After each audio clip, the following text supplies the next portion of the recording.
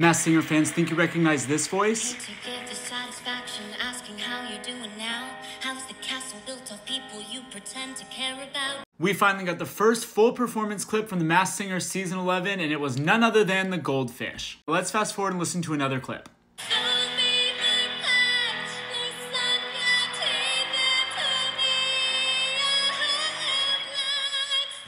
But wait, there's more, because at one point she actually talks. I loved you truly. Hmm. At a few points in the song, she has some breath control issues.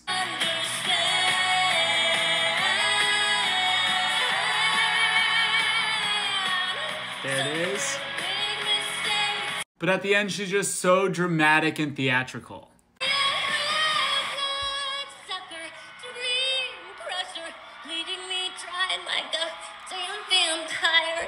So yeah, you can see what I mean by dramatic. Who do you guys think this sounds like?